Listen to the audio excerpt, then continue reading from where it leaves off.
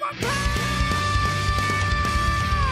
Hola, soy Bash, y hola amigos, bienvenidos una vez más a nuestro canal. Y bueno, el día de hoy, como ya es costumbre en el canal, les traigo la review de un nuevo capítulo extra de One Punch Man. O bueno, en esta ocasión serán dos capítulos diferentes, ya que los extras del volumen 16 y 17 son algo cortos, así que decidí unirlos en este video. Y básicamente estos episodios tratan en primera instancia sobre gafas una vez más, mostrándonos parte de su desarrollo como héroe. Además de que el segundo episodio tratará acerca de lo que pasó con Sonic una vez que consumió las células de monstruo. Pero bueno, ya estaremos platicando estos dos capítulos, así que sin nada más por añadir, comencemos de una vez. Y bueno, comenzamos el primer episodio observando que unos tipos se encuentran asaltando una tienda y diciendo entréganos todo el dinero, mostrando un cuchillo. De esta manera observamos la épica aparición de Gafas, el cual sujeta el brazo de uno de los asaltantes diciendo ustedes dos deberían guardar sus cuchillos, parece que uno ya se fue de aquí, encargado por favor llame a la policía, observando como uno de los tipos sale corriendo del lugar intentando escapar. Lamentablemente para él es interceptado por otro héroe, ya que en este momento observamos a uno de los miembros del grupo Blizzard, el cual acababa de detener al asaltante, sorprendiéndose ya que precisamente se encuentra con gafas y ellos dos se conocieron dentro del grupo Blizzard. De hecho si quieren saber más al respecto, anteriormente traje un capítulo extra sobre gafas en donde se relata su historia y su relación con el grupo Blizzard. Pero bueno, continuando con la historia, observamos que después del encuentro de estos dos héroes, le invita a Gafas un refresco, diciéndole que cuando dejó el grupo Blizzard pensó que iba a dejar el negocio, pero parece ser que actualmente lo está haciendo bastante bien. A lo que Gafas responde que no exactamente, pero el miembro del grupo Blizzard dice, no seas modesto, las cosas han sido más suaves para ti desde que dejaste el grupo Blizzard, ya ha pasado bastante tiempo y de repente eres de la clase B rango 20, tú solías ser débil y lento, observando cómo en ese momento le lanzan una patada a lo que Gafas puede detenerla rápidamente, dejándolo completamente sorprendido y diciendo nunca había nadie que pudiera cambiar tan rápido, ¿cuál es tu secreto? A lo que Gafas responde, incluso ahora, más tú que tú eres más fuerte que yo, en conocimiento, experiencia y toma de decisiones. Soy carente de todas esas cosas, lo único que ha cambiado en mí es mi determinación. Decidí no estar atado por mis límites, así es la lección que Saitama le dio, sin duda alguna este muchacho me llena de orgullo. Pero bueno, mientras estos dos héroes se encontraban conversando conversando, observamos como a lo lejos ocurre una explosión, preguntándose si este será un monstruo, a lo que Mastuke menciona que eso será una molestia, por lo que será mejor que llame a Fubuki y al resto del grupo. En ese momento observamos que a Gafas esto no le importa en lo más mínimo, a pesar de que Mastuke trata de detenerlo diciendo que el grupo Blizzard se va a hacer cargo, diciéndole que si de verdad cree que puede hacerlo solo. En ese momento al intentar detenerlo observamos cómo le jala una de sus mangas revelando múltiples cicatrices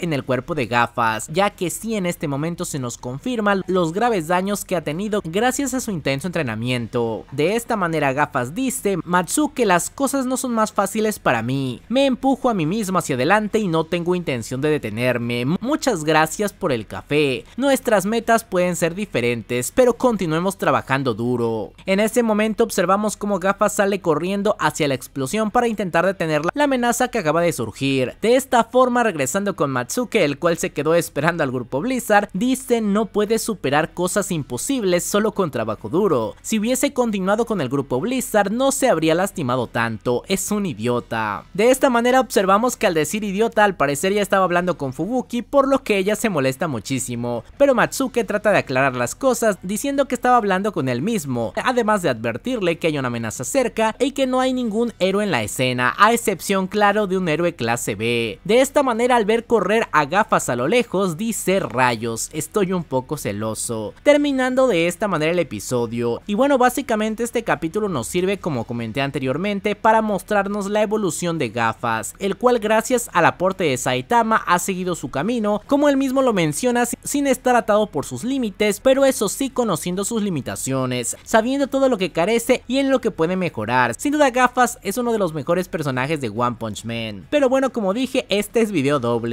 por lo que ahora vamos con la segunda historia, la cual es dedicada precisamente a Sonic, ya que como recordaremos él tomó la decisión de comer las células monstruo, y hasta donde supimos al parecer le dio malestar estomacal y es por eso que desapareció por un tiempo, pero en esta historia extra se nos relata alguna información adicional, ya que al parecer después de tener diarrea durante toda la noche y finalmente librarse de esto, al salir del baño Sonic cree que realmente las células monstruo tuvieron efecto en su cuerpo, por lo que a pesar de que no sufrió ningún cambio en apariencia, él menciona que su cuerpo sí ha tenido un cambio excesivo, por lo que a final de cuentas piensa que estos son los efectos de las células, obviamente estando bastante molesto con aquellos ninjas que le dieron las células, ya que dice que no le advirtieron de la diarrea que le iba a dar. De cualquier manera dice que esto no importa demasiado, ya que a final de cuentas él nunca tuvo la intención de unirse a la asociación de monstruos, y que de cualquier manera él siente un enorme poder dentro de sí mismo, sintiéndose más ligero y poderoso, por lo que en este momento observamos a un Sonic el cual rebosa de confianza y afirma que va a necesitar más tiempo para adaptarse a su impresionante cuerpo mejorado, aunque a final de cuentas se nos revela que debido a la diarrea que le dio, este perdió 2 kilos y es por eso que siente su cuerpo completamente diferente y se siente más ligero como lo menciona, pero a final de cuentas para Sonic él ya tenía su nueva forma monstruo. La verdad es que me pregunto cuándo se habrá dado cuenta de que esto no era así, tal vez después de encontrarse con Saitama una vez más. Pero bueno, ahora sí de esta manera terminamos el video, me encantaría que me dejen sus opiniones en los comentarios y antes de despedirme quiero agradecer a todos los miembros del canal que siempre nos están apoyando. Y muchas gracias a Orlandos, De Loco Steve, Al Cojo Gamer, Junito Furcal, Kauyat24, Emanuel Castro, Luis Rodríguez, Lalo MFGM, Alex Gamer, Irving Sánchez, Alex Pilo, Rain505, Rodrigo García, Fanny Morales y Jonathan B. Y ahora sí, sin nada más por añadir, adiós.